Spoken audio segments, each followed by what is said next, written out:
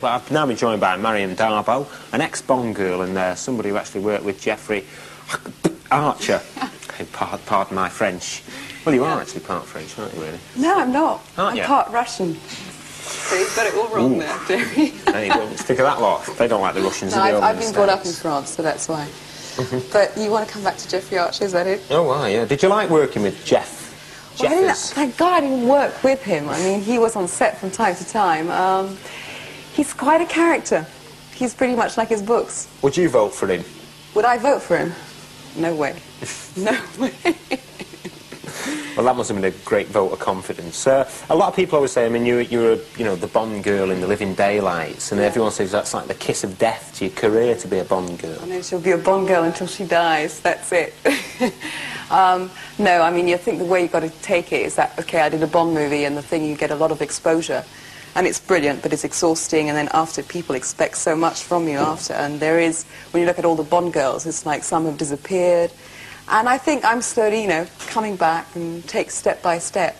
Um, the actual kiss of death, I think, is from the press more than anything else. I mean, you know, it's just luck. Next job, you know, whatever job I'll get. How did you land the part then in Not a Penny More, Not a Penny Less with Jeffrey Archer? Did I my part? Yeah. No, no, how did you land it? Uh, how did I? I auditioned. I saw Clive Donner uh, at the BBC, and we. I just auditioned. And did uh, you think it was a good story? nobody thought it was a brilliant story. I mean, I think a lot of people did it for money. no, and for. I mean, it, it was fun to do. There was a great cast, um, a wonderful producer, Clive Donner, a lovely director to work with. And uh, it was just a fun, you know, thing to do last summer in England, and it was a heat wave in England. It was brilliant.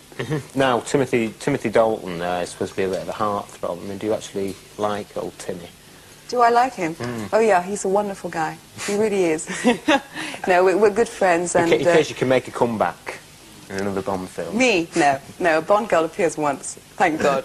I mean, otherwise I'd be really like, you know, the kiss of death. Have a look at some of these films anyway, because my barber used to say, here's something for the weekend. I don't know what you meant, but- but Maryam's here to help me look at some uh, video selections for the weekend. They're not those sort of videos, Mariam. Uh, first off, there's Die Hard. The sequel's already out. You can now buy the original. Bruce Willis plays a hero, of course, restoring the status quo without affecting his hairline. Seems like a lot of fun. Is, it, is he more your kind of action man rather than Timothy Dalton, the Bruce Willis type? Terry, the kind of questions you're asking. Number one, I don't even know Bruce Willis. Um, and Tim I know, and I enjoyed working with him, and I certainly find Tim more interesting than Bruce Willis. Yeah, we're going for the glamour angle tonight. That's why. That's why. That's why I've got. angle, My, that's why I've got my silky And I haven't on. seen any of his movies. I've only seen him in Moonlighting. He was good in that, though, wasn't he? Yeah, I mean, he's great at that character, but I haven't seen Die Hard. What is it called? Die Harder now? They have Yeah. Die Harder. I haven't. And I I, mean, know he's a good actor, but um, Moonlight is okay, but it doesn't kill anyone, though, does it? Now, uh, this is this is uh, something else which you might have seen already. It's about to be launched on Sky TV. They're a family who've outraged the moral majority in America, corrupted a generation of kids, and sold more T-shirts than anyone else. A family of the Simpsons, supposedly a typical, a typical middle American family gone wrong. Now, the father, Homer, is a brainless couch potato who works in a nuclear waste plant. His wife, Margie, is a squawky old bat, and the two little girls are precocious brats. But it's their son, Bart, who's become the new hero, a kind of Dennis the Menace of the 1990s America. There you are. That's going to be on uh, Sky TV. Mind you, you know, you know the only difference between Sky TV and the Loch Ness Monster is some people claim they've seen the Loch Ness Monster. Have you actually seen The Simpsons? Well, I watched it, and uh, it's really strange. I mean, I didn't know anything about it, and uh, it's quite a well-known cartoon. You actually meet people who look like that in real life, don't you? I do.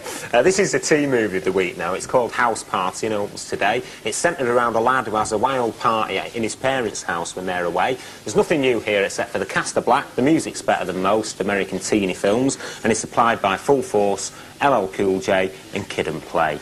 Uh, he's nicked his haircut off Bart Simpson, hasn't he, that guy? Uh, what's, the, what's the wildest party you've uh, ever had? Oh my God, oh my God. Wildest party I've ever had. Probably some Hollywood party. Well, Yeah. what, what kind of thing goes on at them? Not that. Not what I've just seen.